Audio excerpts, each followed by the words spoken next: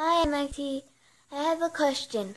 We were just learning about the solar system, and I have a question about our gas giants. How come our gas giants stay in a sphere instead of the gas just blowing around everywhere in space? Hope you answer my question. Bye! Hello, my name is Anna Frebel, and I'm a professor here at MIT. I'm actually an astronomer, and I'm going to answer your question about space. You ask about gas giants, so large planets that have a gaseous atmosphere, and why they're in a sphere. It's mostly due to gravity. Gravity acts on matter in, in space on, and acts on all objects in space, and it acts particularly over large distances.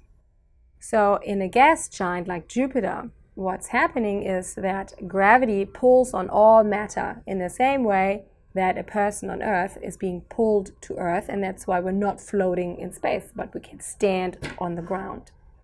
The same is happening in Jupiter. All the gas is just mass, it's little particles spread apart in the gas rather than clumped together in solid matter, like a rock, for example. So, uh, what's happening then is gravity is pulling the material towards the center of Jupiter. And uh, there is some, some gas pressure from the atmosphere, for example, or and some heat also that acts outwards, that wants to push things away. When things get hot, they want to expand. And uh, the, the reason why everything stays in a sphere is because gravity is pulling things in, and this pressure from the planet is pushing things out, and it keeps everything in a nice equilibrium. And the result of is of that is that it is actually a sphere because the, the force of gravity um, acts in the same way, in the same amount in all directions. So if you sit in the middle of the planet and you have a whole bunch of strings in your hand that are attached to all points around you, behind you, and in front of you um, on the planet, those strings all have to be equal.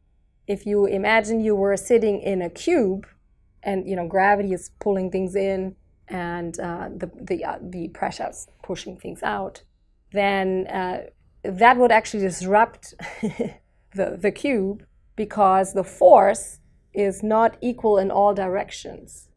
If you if you you have a, a shorter string right to the to the flat part of the cube in front of you, and you would have a longer string, you would need a longer string to the to the corner of the cube so in order to keep things stable and nice and not floating around in space, you need to pull in the, the string going to the corner until it has the same length to the string that, that is going to, to the front um, of the cube.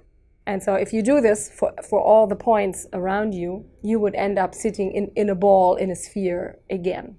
And so that, that is, uh, that's why, why everything, even when it's made from gas, as long as there's enough mass uh, where gravity can act on, uh, is, is nice and contained in a big ball.